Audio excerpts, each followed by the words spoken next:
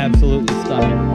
Just to show you real quick. Now I'm going to put him back on the leash and walk it